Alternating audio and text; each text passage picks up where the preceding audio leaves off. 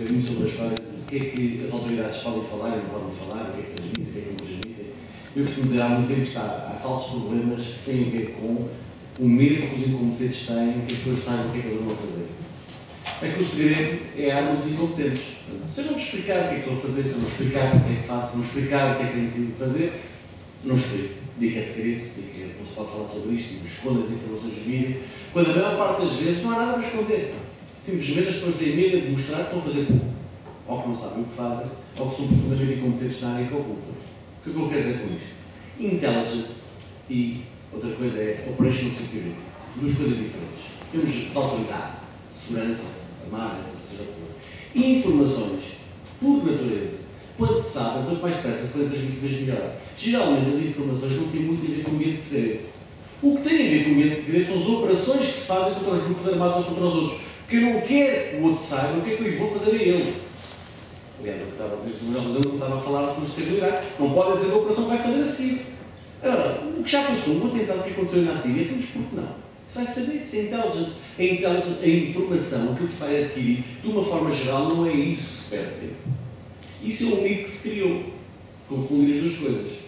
Eu tenho que segurar a informação é das operações, Operation Security, que eu vou fazer, que eu tenciono fazer, a forma como eu vou fazer, as técnicas que eu tenho para fazer, as táticas que eu vou utilizar. Isso é que é segredo. Isso é que é a alma do negócio.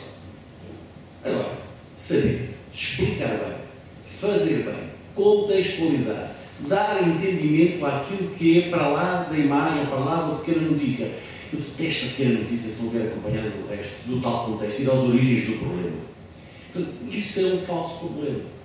Agora, ser isto é o problema dos mídias, no mídia, ao fundo, não é o problema dos mídias, é o problema dos maus mídias, não é o problema dos maus académicos, não é o problema das maus autoridades, não é o problema do mal militar. O problema é quando nós temos o barro com que fazemos a coisa ser fraquinho. Portanto, isso não é o problema dos mídias. O que nós pedimos às pessoas é que sejam bons e profundos naquilo que fazem no seu trabalho. Uma notícia contextualizada uma notícia que vá ao fundo do problema, que investigue e que não tenha medo de ir até ao fundo das consequências, é o melhor que pode haver. Raramente vem algum mal ao mundo por uma notícia ser profunda. Pelo contrário. Pelo contrário. Portanto, quando às vezes perguntam autoridades e mídias se há aqui algum problema, não, não, tem que haver problema nenhum, quer dizer. Não tem que haver. Agora, César o que é César, não é? Eu tenho que fazer o que me compete e isso é que eu penso ainda bem que interpretou bem aquilo que eu quis aqui mostrar.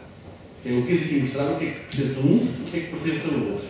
E, portanto, autonomia, claro, o que é que eu tenho a temer? Autonomia, pelo contrário, tenho a temer que me façam as perguntas. Mas a coisa que me, que, que me deixa muito incomodado, é, felizmente tenho, tenho tido o privilégio de ser interrogado por alguns jornalistas positivamente, interrogado, porque são forma positiva, é que eu não faço as perguntas certas.